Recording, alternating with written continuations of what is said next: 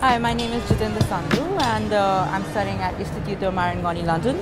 And I've studied uh, uh, fashion designing, done a BA course in that. And uh, I'm from New Delhi. Yes, my inspiration was uh, India, which is my true heritage and culture. I come from there and I've been brought up there.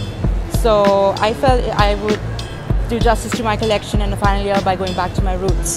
So uh, I've used a lot of colors, I've used a lot of prints, and they're very bright and vibrant, and they represent India, I think, in the very right sense, I believe it to be. So what do you think about Fashion Yes, definitely. I think it's a great platform. Um, it's a great place to be seen, and uh, why not? I mean, put your work online, and people can follow you. You can make so many contacts, and in this industry, you need so many networks and contacts. That's how this business works.